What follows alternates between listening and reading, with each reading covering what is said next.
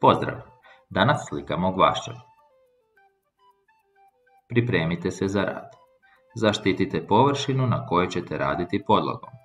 Pripremite vodene boje, bijelu temperu, paletu, kistove i čašicu, rupčiće i hrapavi papir na kojem ćete slikati. Zaustavite video i pripremite se za rad.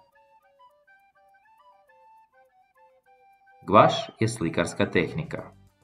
Na paletu istisnemo bijelu temperu, umočimo kistu u vodenu boju te je pomiješamo s temperom na paleti.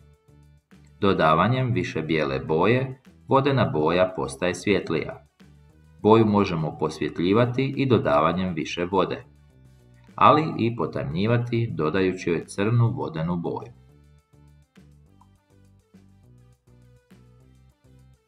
Pogledajmo sliku Franca Marka, gazele. Ona je podijeljena na male plohe, a svaka je ploha ispunjena mrljama i potezima. Mrlje i potezi čine karakter osobinu površine te slike. Karakter površine slike, načinjen mrljama boja i potezima kista, naziva se slikarskom teksturom. Slikarska tekstura ovisi o rukopisu slikara i načinu na koji miješa i nanosi boje.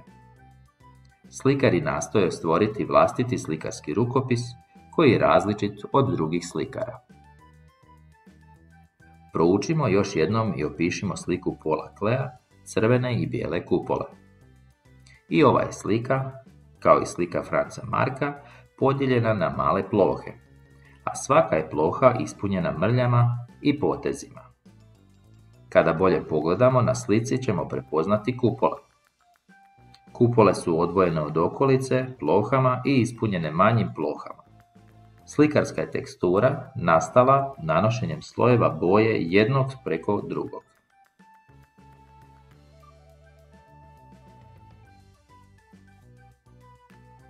Ponovimo i pojasnimo slikarske teksture i slikarski rukopis. Mrlje i potezi čine karakter osobinu površine slike. Karakter površine slike načinjen je mrljama boja i potezima kista i naziva se slikarskom teksturom. Slikarska tekstura ovisi o rukopisu slikara, o njegovim ili njenim potezima kistom i načinu na koji miješa i nanosi boju. Slikari nastoje stvoriti vlastiti slikarski rukopis. Primjeri pokazuju dijelove lica, no svaki od slikara naslikao je lice svojim rukopisom, po kojem se mogu prepoznati njegova djela. Zaustavite video i uočite linije, boje i teksture na ribama, te u okolišu u kojem se riba nalazi.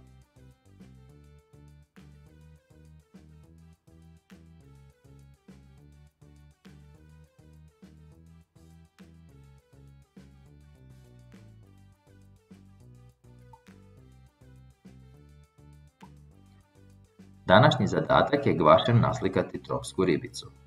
Slikarskim teksturama dočaraj površinu tijela ribe, teksture koralja i kamenja iz njenog okoliša.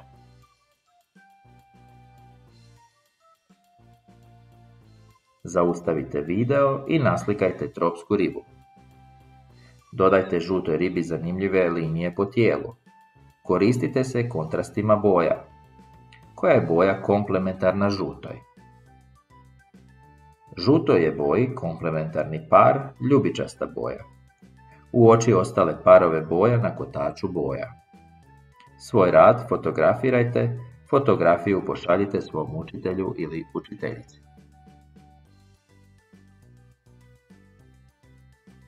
Koji je bio današnji zadatak?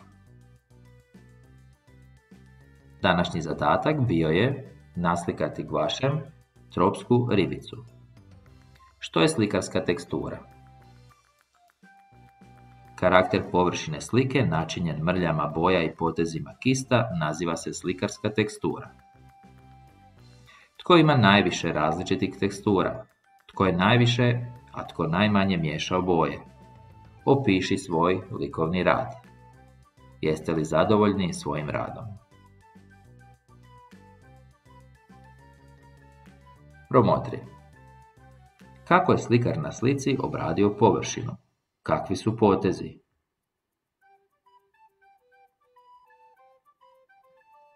Možemo uočiti kako je slikar nanosio debele namaze boje koji su na slici udubljeni i ispupčeni. Potezi slikara Vincenta van Gogha su uvijek kratki i zakrivljeni. Imamo dojam kao da potezi neprestano kovitlaju. Van Gogh je često slikao prstima, zbog čega je njegov nanos boje veoma debeo i reljefan.